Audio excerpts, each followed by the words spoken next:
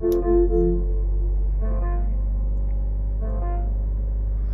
Okay guys, we're in the Maserati Grecale now, and I want to show you guys around some of the electronical interfaces in the interior, because there's a lot of new technology in here, and it's really advanced, and there's a lot of new stuff going on, especially for Maserati as a brand, as everything is now unique and new to this vehicle, as well as upcoming new Maserati. So I think let's start off with your digital gauge cluster up here. So you can see you now have a full digital gauge cluster up there, really nice, and of course the controls are going to be found on the steering wheels over here. So some of the first off the bat controls you're gonna find are the drive mode selector, which is gonna be on the steering wheel right here. This really beautiful dial, illuminated metal, and you can simply just turn it.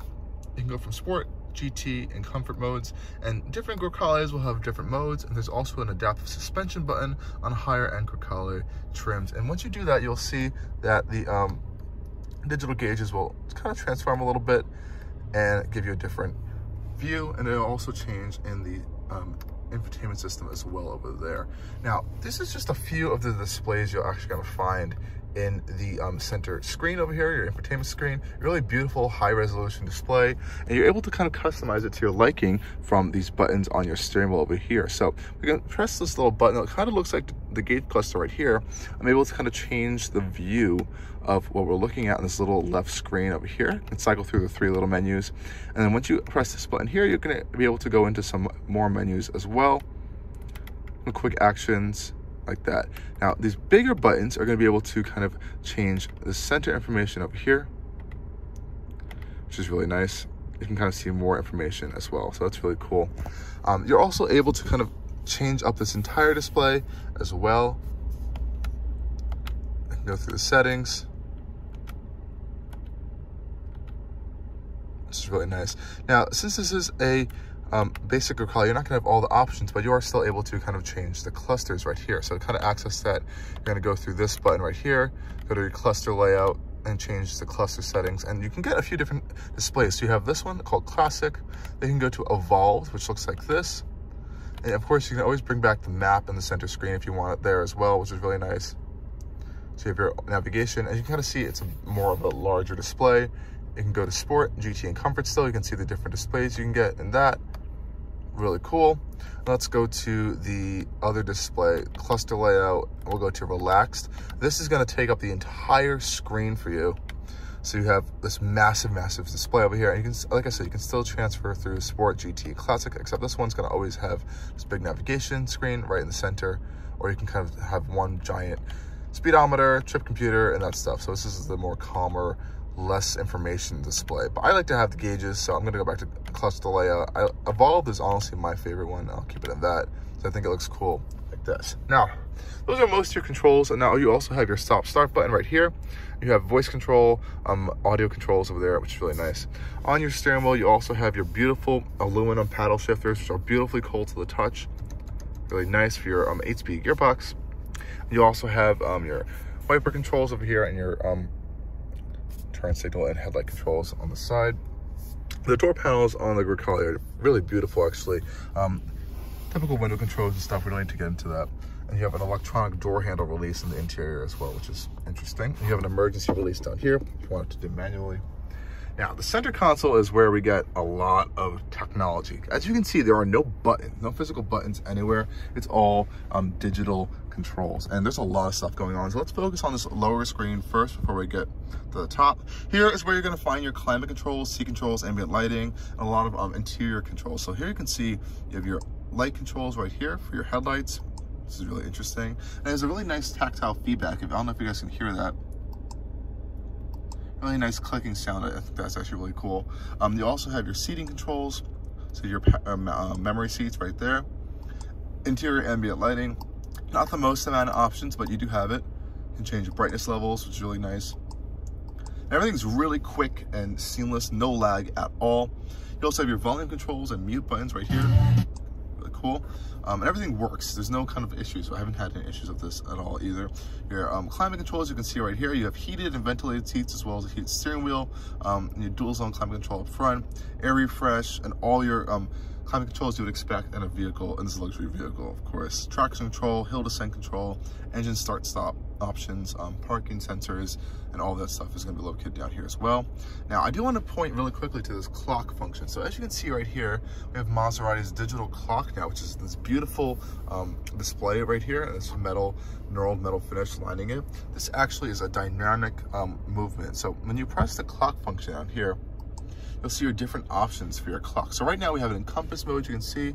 But once I can pop it into clock, you'll see it goes there. You can do a classic clock, a sport clock, and a des design clock, which is a little more of a modern function.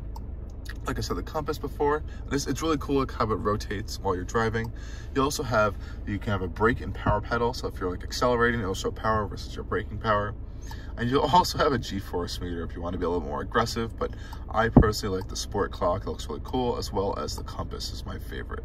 Those are some really cool options you can do there. And of course, as you can see in the middle, you have your park, reverse, neutral, and drive and manual modes right there.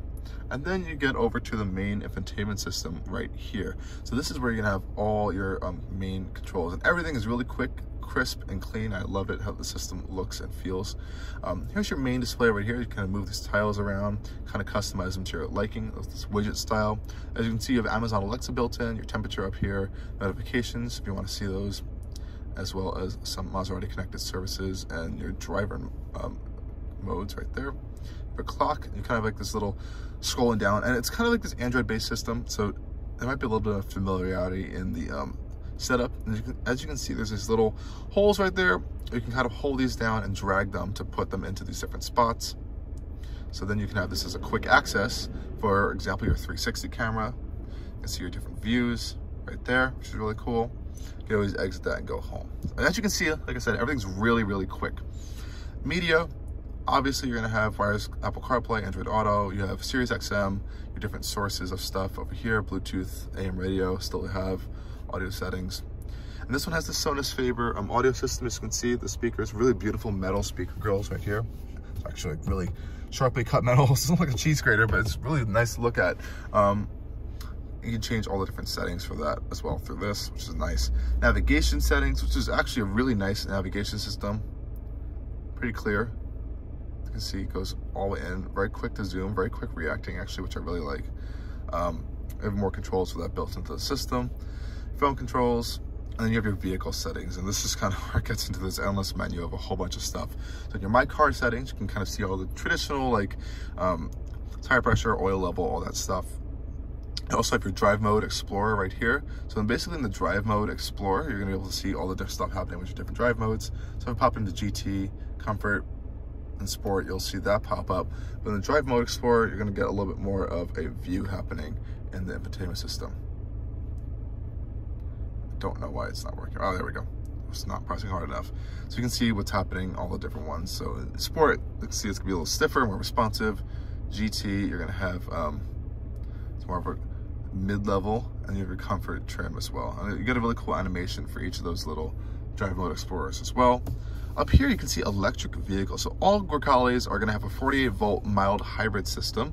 So essentially that's gonna help with auto stop start, and um, a few other features, accessory features, and some the higher end um, suspension components and air suspension is going to help run off that system. You can see the batteries are going to be stored in the back. This is just going to really just show the status of that system and um, how it's, it's like running while you're driving. So you don't really need to be opening on the screen. It's not going to show you that much information, It's just kind of like where the power is flowing.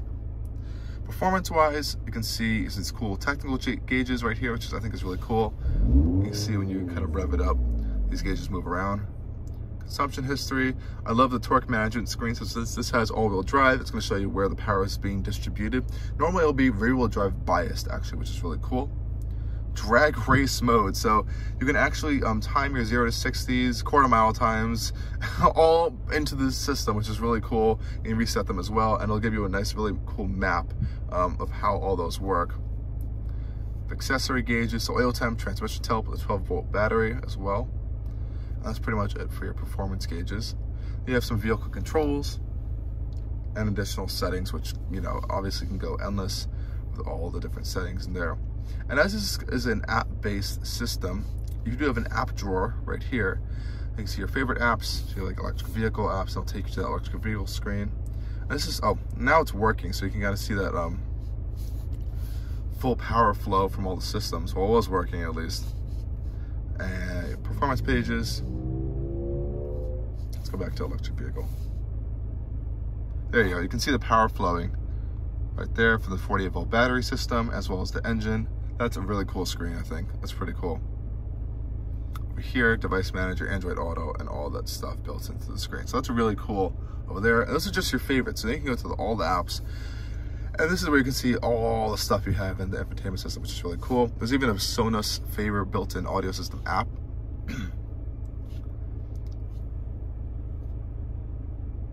which is really cool.